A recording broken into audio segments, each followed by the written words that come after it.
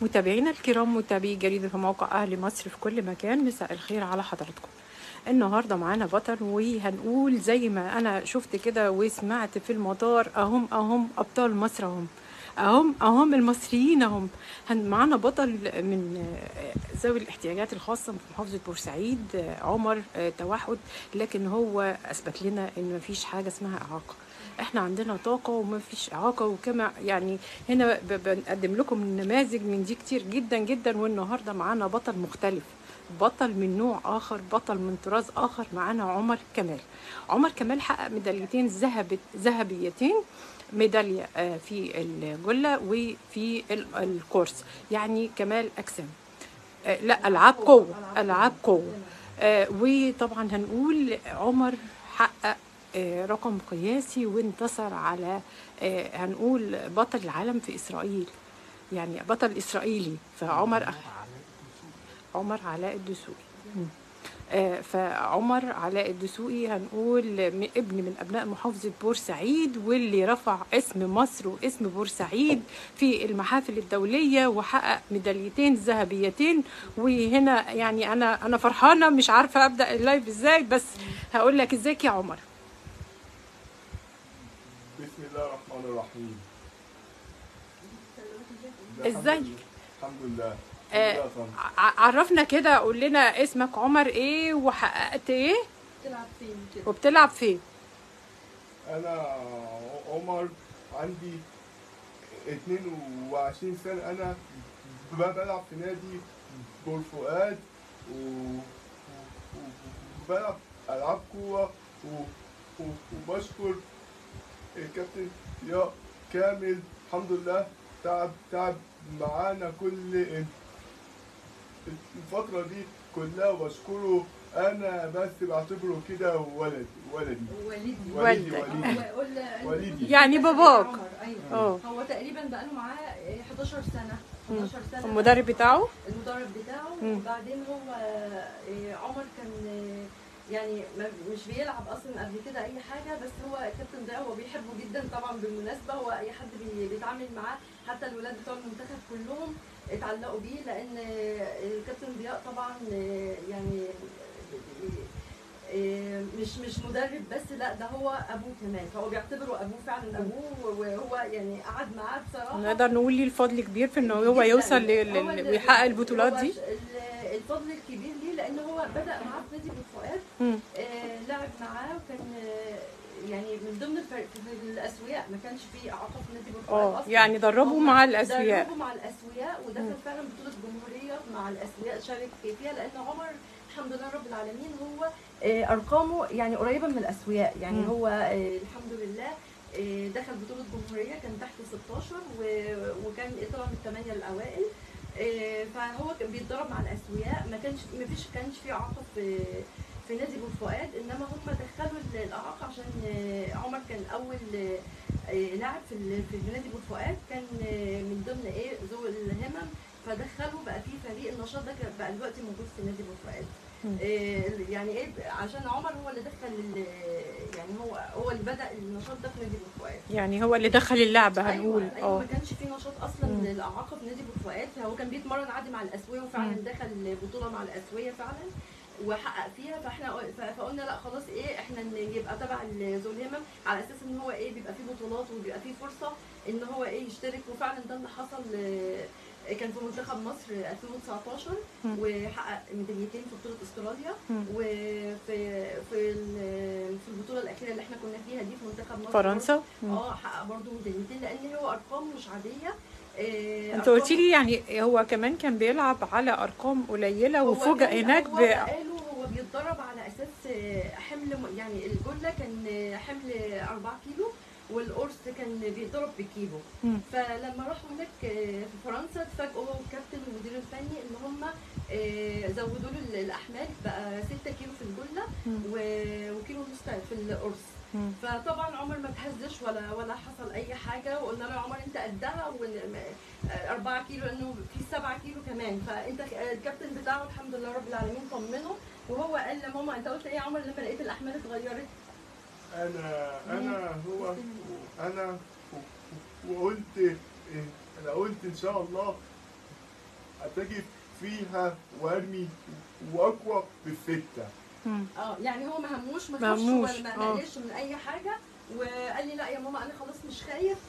هو أول ما كلمنا في التليفون قال يا ماما تغيروا الأحمال وإحنا اتفاجئنا طبعا انت متابعة معاه أول بأول آه، يعني. بصي حضرتك انت كأنك عايشة معاه. أنا عايشة معاه برضه وهو بابا كان موجود بابا الفضل ليه برضه. يعني أنا بحب أشكره من من مكاني هنا لأن طبعا تعب معاه جدا سفر للقاهرة وبطولات ولان هو في بطولتين في السنة وفي يعني رايح جاي على طول معاه في في القاهرة. يعني أنا كنت جوه مع جوه البيت بصراحة. إنما بره بره هو كان بابا اللي على طول بياخده بيجري هنا وبيروح هنا. يعني هو كان شايف إن إن عمر لأ هيعمل كتير. فالحمد لله رب العالمين كان على طول أي حاجة يحتاج أي حاجة لازم يجيبها له. آه، ما كانش بصراحة ما أثرش معاه في أي حاجة آه، قلت لي هو حصل على دبلوم تجارة هو حصل على دبلوم تجارة وبرده. بابا اللي كان على طول ماشي معاه في في الناحية الدراسية آه. دي برضه قابلنا برضه يعني مشكلات كتير لأن كان لسه نظام الدمج لسه ما. اتطبقش كما يجب فاحنا الحمد لله رب العالمين آه، آه، وصلنا لغاية دبلوم تجارة وبعدين إيه وقفنا يعني ركز شوية في الرياضة بقى مم. ف يعني أنتوا آه، الرياضة في سن متأخر ولا من بدري أول أول عنده 11 سنة من هو عنده 11 سنة. دخل راح لا في بداتي. تتجهي بقى لناحية إن هو هيتفوق في- في لعبة معينة في لكن لعبة. لسه ما ما اكتشفتيهاش لا هو إحنا رحنا نادي بورفؤاد الكابتن ضياء قال لا هو يلعب العاب قوه هو لازم هو مش هينفع يلعب في فريق هو يلعب لعبة فردية. فردية. ففعلا جربه وعمل بعض الاختبارات آه. وقال لا ده دون أنا هو هو على فكرة كابتن ضياء مدرب اسوياء مش مدرب آه. اعاقه ذهنيه فهو اتعامل معاه من هذا المنطلق. اتعامل معاه قال لا أنا هدخله معايا في الفريق بتاعي آه. و... و... وقال لا هو يعني ما خافش من أي مشكلة ولا أي مم. حاجة لأن هو عمر مش يعني إيه حابب إن هو. يعني عايز يبقى هو حاسس إنه أسوي. هيجي منه وإن هو هو آه عمر آه نفسه فهو الحمد لله ما لقاش منه أي مشكلة. فكان هو لغاية دلوقتي بيتدرب مع الاسوياء مش مم. م- يعني هو دلوقتي في نادي بورفؤاد مع مع كابتن ضياء فبيتدرب مع الاسوياء فقعد 10 سنين أو 11 سنة تقريبا.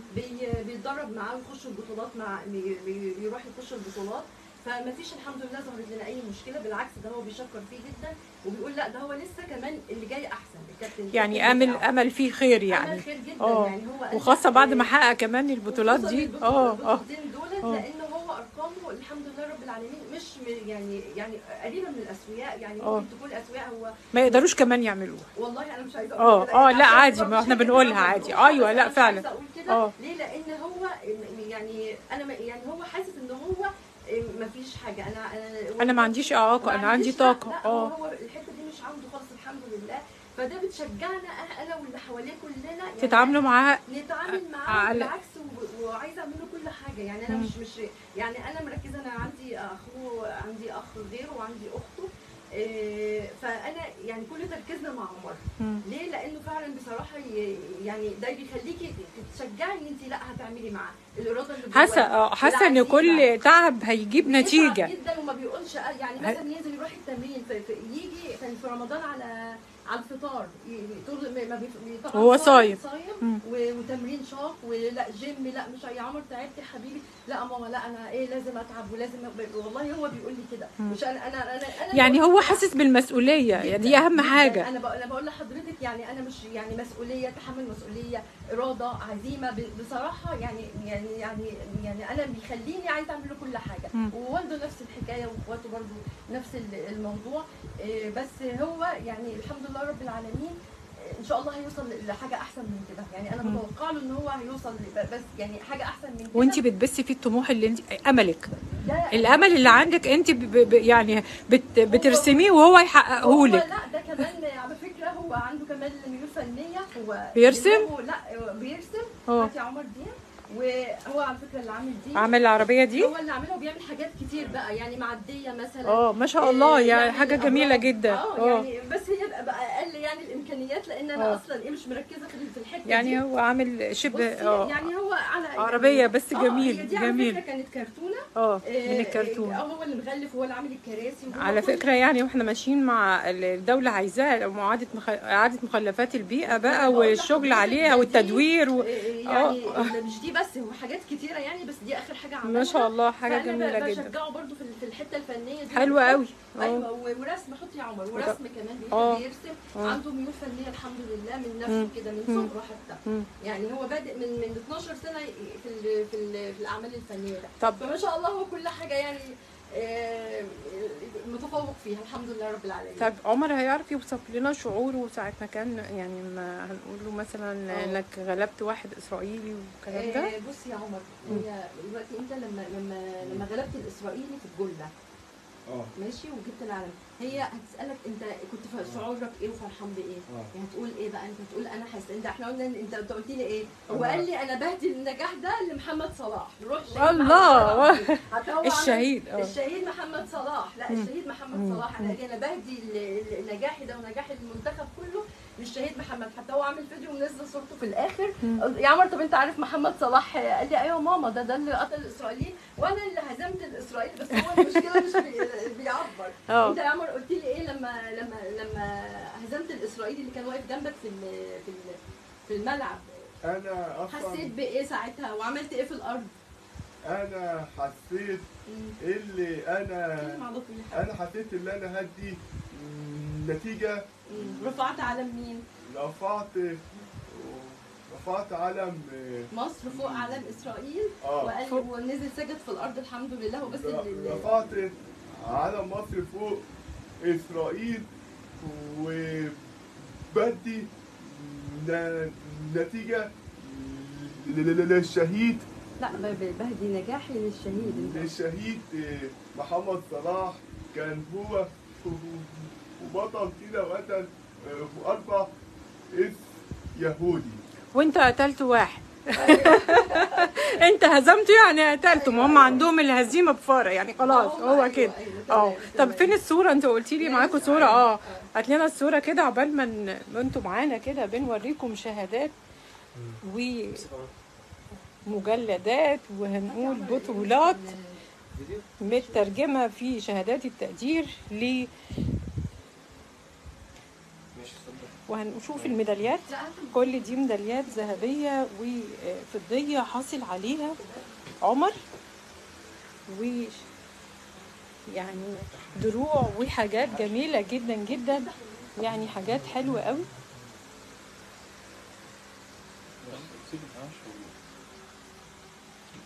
فشوفوا يعني إحنا بطل إحنا ببيت في منزل بطل عالم يا جماعة. نشوفوا الصورة كده.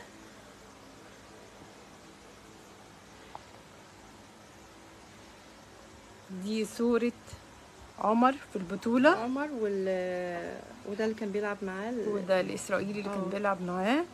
ودي علم مصر اللي رفعوا في علم إسرائيل. دايما مصر منصورة يا رب يا بإذن رب الله. يا رب بإذن الله. ومنصورة على يد أبطالها وأولادها المصريين الحلوين اللي زي عمر. ربنا يبارك فيه يا رب ويحميه ويخليهولك. آخر أمنية هنقول لك آخر أمنية تتمنيها لعمر. آه، عمر أنا أنا برضه مش هنسيبه لما ن- ان شاء الله المستقبل يبقى أحسن حتى في الدنيا و لأن هو الإرادة اللي جواه والعزيمه العزيمة اللي جواه انت هتعيطي ليه ده انت يعني أنا أنا يعني المفروض دي يبقى دموع الفرح أنا بعيط من فرحتي آه،. ما هي دي دموع الفرح. حسيتي. إنك تعبتي وشقيتي ولقيتي نتيجة وعمر حققها لك بالظبط كده هو. هو ما ضيعش تعب ولا تعب صح. بابا ولا تعب الكابتن بتاعه يعني بجد والله بيتحمل مسؤولية يعني أنا يعني أنا بعيط مش من فرحتي بيه أنا فرحانة بيه جدا وبوعده إن أنا مش هسيبه أنا ولا باباه إلا من يوصل للي هو عايزه إن شاء الله ويحقق كل أحلامه ويبقى أحسن واحد في الدنيا بإذن الله رب العالمين.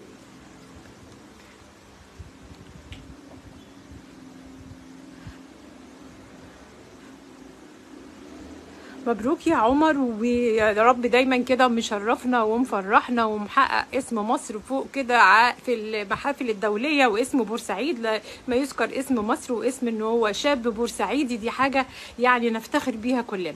بالتوفيق دايما يا رب وكده نجاح وإن شاء الله. ال- سياده الرئيس محمد عبد الفتاح آه، والله يعني الملف بتاع الولاد دول فعلا ما لقوش أي اهتمام إلا عهده يعني أيوة. أنا بقول أيوه فعلا بصرف. النظر عن أي حاجة. تانية بس هم الولاد دول فعلا الفئه دي آه، الملف بتاعهم فعلا آه، ما لقاش اهتمام بالفئة دي ألف عهد ال- الرئيس محمد عبد الفتاح السيسي بصرف النظر عن أي حاجة تانية طبعا هو تم تكريمه منه قبل تم كده تكريمه آه في 2019 مم. آه، وده وسام الجمهورية من الطبقة الأولى آه، وسام الجمهورية من الطبقة الأولى مم. و- وإن شاء الله يتكرم برضو بإذن الله ال- الوزير استقبلهم في المطار و... و...